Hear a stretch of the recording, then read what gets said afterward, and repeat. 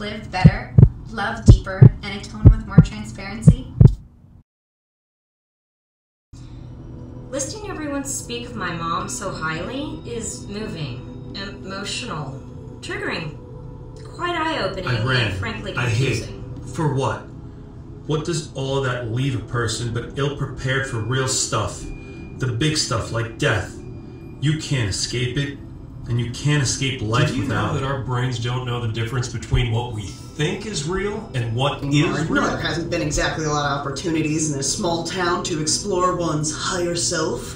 Why do you think you I guess left? when I left this town when I was 17, thinking this place was boring and pathetic, but the, yeah, that must have been a gross misjudgment on my part. Clearly, my mother made this an exciting, fun, less traumatic place to be for many of you. Not so much for me. It's too late to have regrets. You all grew into not roundhouse types of people. It happens. Mabel absorbed herself into this community as if in a perpetual search for others that reflected you. It was just kind of an accident that you didn't get to rediscover yourselves as adults. She wanted to be close to you, but she didn't know how. Your personalities were just different. Northern Nevada, a mountainous desert region rich in history and home to the Wild West and the Comstock Lode, the biggest silver discovery in the United States. That was 1859. Now, in 2019, this small rural area remains a historically preserved desert, full of abandoned mines, mountainous backdrops, casinos, legal prostitution, and colorful residents such as Mabel Kane. But who was she? And why was she so important to this town? Sadly, she has just died. Now what?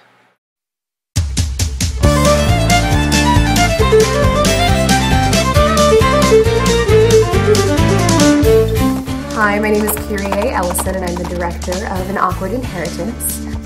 The thing about Elise Milner's plays is that they really delve into those odd family relationships that we all have and pretend don't exist. But in these situations, you can't pretend. It's right there, and they all have to deal with it.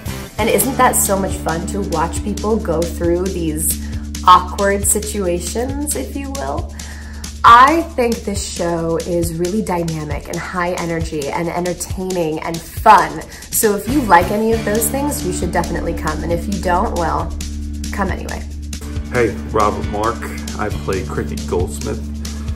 Why you should come see the show.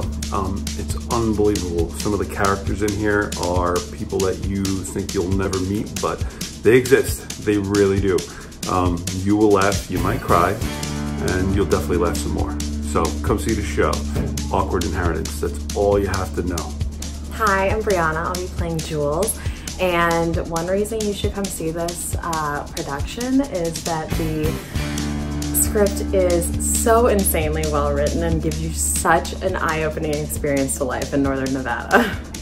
Hi, Joseph Sirico. I play Dick Grotto, a very drunk attorney from Nevada. And uh, you guys absolutely need to come see this because the cast is wonderful. Uh, great energy. The show has great energy. And it's very, very funny, well written, and absolutely worth the money. And you don't have to wait in line or have to go through scalpers to get tickets. Hey, my name is Sydney Lockhart. I play Phil McCain, and you should come see this show because you want something different, you want something new, you want something fun, something exciting, but also relatable. That's this show. I'm Kristen Smith, and I am playing Delilah in An Awkward Inheritance, and you definitely must come see this show. Um, it is going to be a romp, a riot, a lot of fun. Just, I mean, full of surprises. Hi, I'm Madison. I'm playing Betty, and you should come to the show because it's going to be an exciting, crazy, wild learning adventure. Hi there, everyone. Um, I'm Joshua R. Pine. Uh, I, I am playing Dr. Ryan Detropolic. Please come and see the show. Um, if you are are someone who who wants to to view theater that wants to break out of the mold of conventional theater, this is the show for you. Um, there is a funeral. Uh, it's non-heteronormative. It is uh, great female characters. Uh, it's it's a lovely show. I'm incredibly happy to be a part of it. Uh, very talented people, uh, cast and crew alike. Uh, come see this show. It's going to be fantastic. Hey, I'm Chris Zen. I'm playing Caramel in an Awkward Inheritance. Now, you guys need to come see this show. It's going to be amazing. It's a great cast. It's such a funny script. You are going to love it. And I mean, look at me. You already know it's going to be great. So you guys should come out. Hi, I'm Wendy Lazarus, and I am playing Graham Bam. You have got to see an Awkward Inheritance.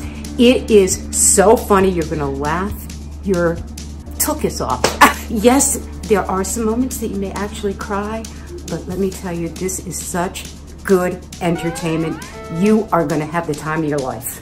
Hi, my name is Candace Carr, and I play Marigold.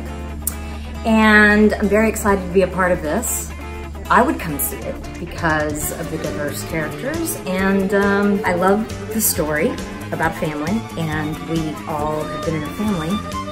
And uh, if you have siblings, and the dysfunction um, between parentals and children and brothers and sisters and strangers. Um, it's, uh, it's got it all in there. And how that happens between everybody, you'll have to come see it. Hey everyone, I'm Heather. I'm playing the part of Princess. And uh, you have to come see this show. I'm just so genuinely excited about the cast um, and the actors that are working on this project are all so talented and just jumping off the page, like is how I would describe it. Um, but yeah, I can't wait to see you there. Hi, my name is Andrew and I'm playing Jadge. I'm really excited to delve into this play and this character. Um, yeah, and to explore this really crazy family um, who, despite everything they're going through, has a real heart. So, you come on down?